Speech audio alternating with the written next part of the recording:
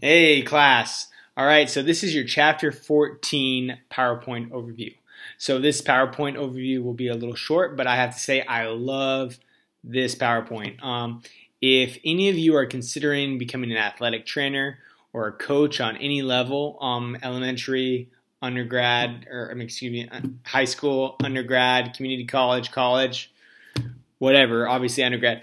Um, this is a great PowerPoint for you guys to hold on to because what this kind of goes through, it goes over you know specific types of training for sports. So optimizing training, overreaching, excessive training, um, periodization of training, overtraining, tapering for peak performance, and detraining. So if any of you who are not really you know into sports or into fitness, um, this is also a great starter uh, PowerPoint for you.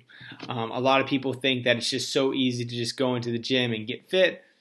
There's a science to it. And a lot of times, uh, a lot of the issues I get in the clinic with patients is people who have been sedentary, meaning they haven't really done much. They stay on the couch, they're kind of lazy, they haven't done much working out, and then they jump in the gym, they hit it hard, and then all of a sudden they hurt themselves, right? Because their body just wasn't ready for that. Um, overreaching. Um, there is quite a few topics in this PowerPoint, especially you can see in the overview, that kind of address every segment of a sports trainer. Um, this is great to know exactly how to approach each athlete safely, um, to avoid injuries, avoid stress, and to get the most out of the training sessions that you have.